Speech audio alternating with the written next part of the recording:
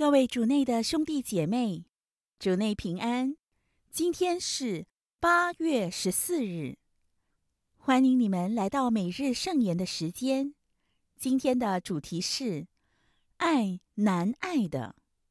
现在让我们一起聆听马窦福音第十八章第十五至二十节。那时候，耶稣对门徒们说。如果你的弟兄得罪了你，去，要在你和他独处的时候，规劝他。如果他听从了你，你便赚得了你的兄弟；但他如果不听，你就另带上一个或两个人，为叫任何事情，凭两个或三个见证人的口供，得以成立。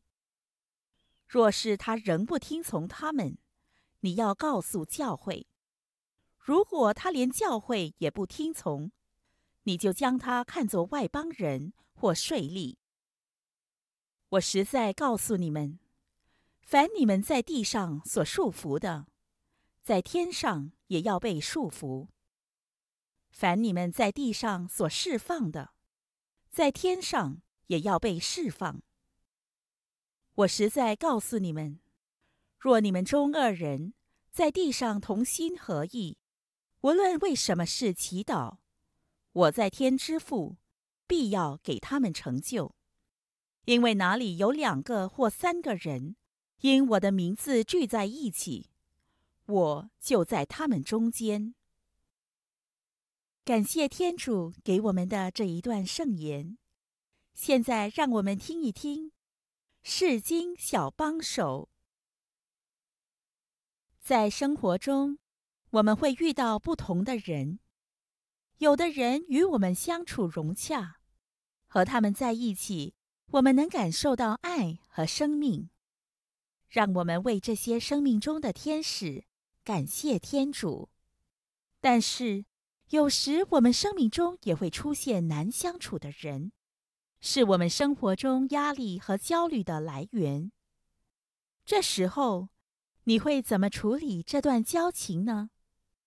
我们经常徘徊在焦急想改变对方和放弃不理对方这两个极端，但执着和逃避都无法带来平安。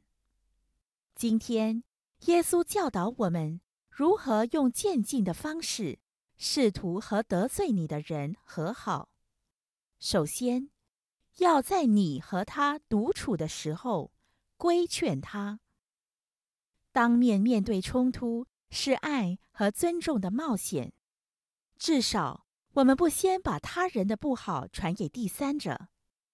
但要让人改变，一定要先让他感受到爱和尊敬，否则必会失败。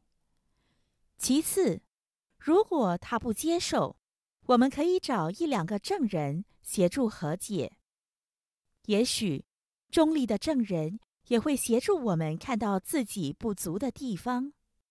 这时，你能谦卑的为自己做得不够好的地方负起责任吗？再不行，我们可以交托教会或其他正式的执法机关。为我们主持公道，避免自行正法。最后，如果他连教会也不听从，耶稣允许我们将他看作外邦人或税吏。也许我们会把这句话理解为耶稣允许我们憎恨这些人，但是不要忘记，耶稣其实是很爱外邦人和税吏的。或许为了我们自己的好，我们必须暂时远离这些人。但是，如果我们真的要效法耶稣的爱，我们可以把得罪我们的人交托给耶稣，求他以他的智慧去对待他们。为我们的敌人祈祷，其实也是一个极大的爱德，你知道吗？种下种子。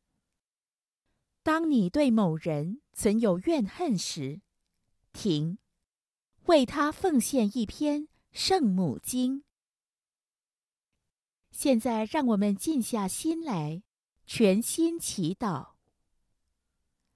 主，请给我力量，为我自己无法的人献出爱德。